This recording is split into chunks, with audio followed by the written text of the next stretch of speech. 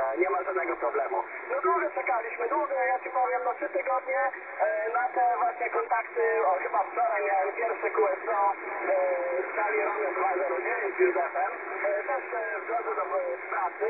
E, ja ci powiem, że e, gdzieś tam w sobotę, w okolicach soboty, chyba tydzień temu mogłem, zamieniłem jedno QSO z ostatnią Polską e, i to wszystko generalnie. No czyli tak można powiedzieć, że trzy tygodnie tej propagacji nie było, bo e, jak było to tylko chwileczkę i, to wszystko, a to z tobą rozmawiałem Jarek przecież, nie? To było dwa tygodnie temu czy tydzień temu w sobotę.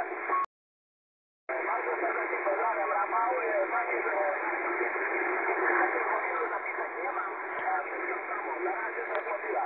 E, Serdecznie Rafał pozdrawiam, 161 November Mike. I z tej strony 26 Foxtrot, Foxtrot 004, Jarek Polski, ale Alfred Fronter Jarka, Papagalka 01. Dzień dobry, dzień dobry Jarku, po wielkiej, wielkiej przerwie. Odbieram Cię tutaj, no może bez szału, jakieś 3-5 esów, ale, ale w końcu to jest, to już jest sukces i to, że mnie odebrałeś.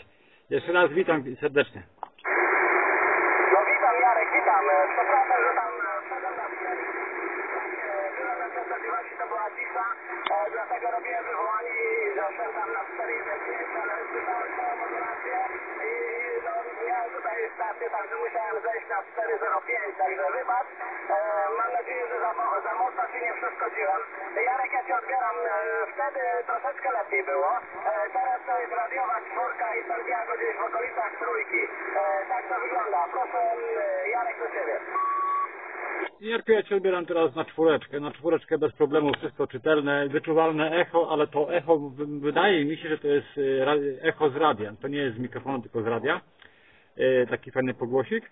E, no sygnałowo to wiadomo, to nie jest jakieś to wysoko, no 3-5 do e, tych esików, ale to u mnie to jest zanicza, także ale to w sumie to jest nieistotne. Ważne, żeśmy się odebrali, o i to, to jeszcze z mobila to rewelacja moim zdaniem. Proszę do Ciebie.